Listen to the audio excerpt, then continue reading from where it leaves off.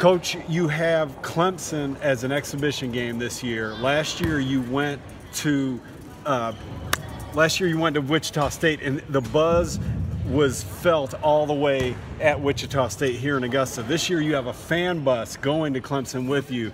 Um, are you? How excited are you and the Jaguar Nation about that game? Great opportunity. Uh, you know, Clemson's ACC school. Uh, you know, Coach Brownell, We reached out in the summer, agreed to play us. They're going to be great defensively. I worry whether we're going to score a bucket that night, uh, but it's a great opportunity. Our fans can go. We got a school bus here, a fan bus full up right away. Some other people driving up. It's free, so if anyone wants to come, uh, Clemson's getting the thing free. We've got 75 seats behind our bench uh, locked off for us, so it's a great opportunity, and uh, we need to play when the lights are on, man.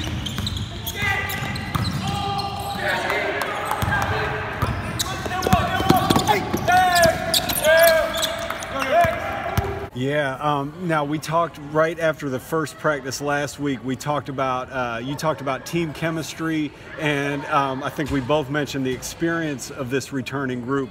After a week, how do you feel about how they've come along so far? You know, we've shared the ball pretty good. Uh, we're unselfish. We're, we're a little sloppy with the ball right now. Uh, we try to outscore people, which is not going to work. But no, the camaraderie is good. Uh, the togetherness is good. We just had our worst practice today, uh, but still it was good effort. So, you know, we've got a ways to go. We've got to we've got to figure out some rotations on the perimeter. Uh, we've got to figure out. We got to learn to keep our good players on the court. Kyle, TC, Dean, those guys got to stay on the court. They got to stay out of foul trouble.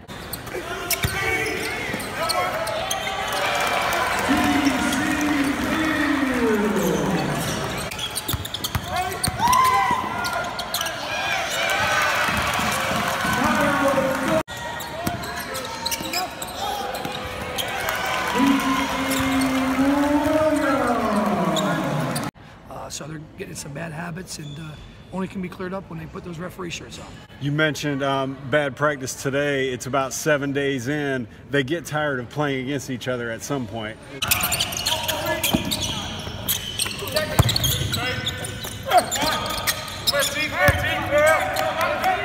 And they get right? tired of me. Uh, yeah, two things. They get tired of playing each other. And, you know, we have a scrimmage, another scrimmage lined up here with Anderson. Uh, so we're allowed the NCAA number of scrimmages. Yeah, we want to play other people, but boy, we're we're not very sharp. But we'll, we'll figure it out. So you have two scrimmages and Clemson before you open up for the official opener at Barton College against Mount Olive uh, November 10th. Yes, yes. And that's the one that counts on the record. Uh, that's the one that, as I said, goes on the bubblegum card. And that's the one that matters when he's getting postseason play.